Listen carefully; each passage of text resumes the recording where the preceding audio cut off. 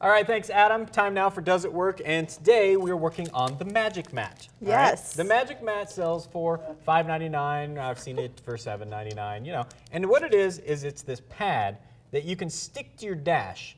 And as you can tell, Stephanie, it's kind of sticky, glass. right? Yes, All right. it's So the idea sticky. is, of course, Tacky. the first one is your cell phone. All right?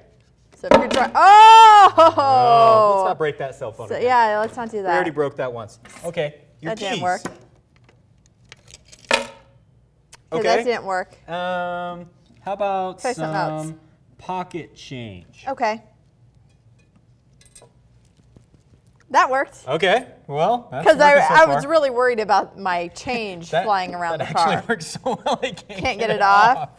Oh, use the keys, pry it off. No, go ahead, French manicure nails. You Yeah, no off. thanks. Uh, Yay! there we go. All right. But of course, here on Does It Work, we want to really have some fun with things. So, you know, you've got a key that can fit on there, right? Per- yeah, the key stays. You could put the Sharpie on there. that works. We were wondering if maybe you could get the official KBOI squeeze ball. no, Oh, pretty close. Oh, wait, I got more. Hang on. you never. Gonna get the I thought this one was great. Our director Rich. Nice. Yeah, that one won't come off. Um, there is the Mike Murad Magic 8 Ball. No, No? All right, here's the thing. We've been Wait, wait, playing wait. with this all morning. give me that. Does it work?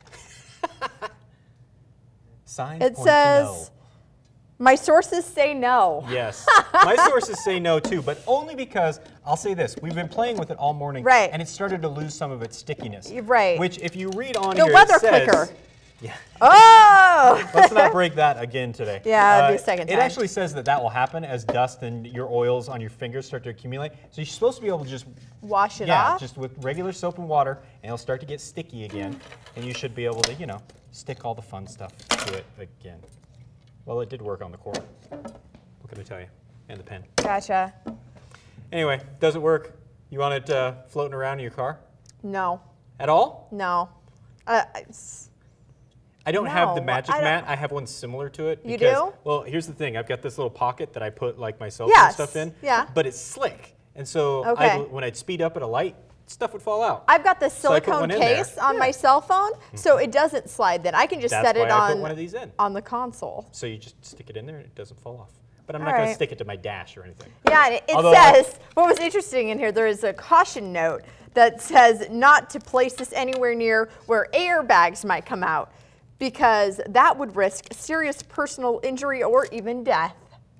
That's great. Just so you know, death. I did think it would be a good idea, like if you were doing the GPS thing and you could stick your cell phone to it like that. That would be kind of cool. So you could be watching along. Anyway, yeah. does it work?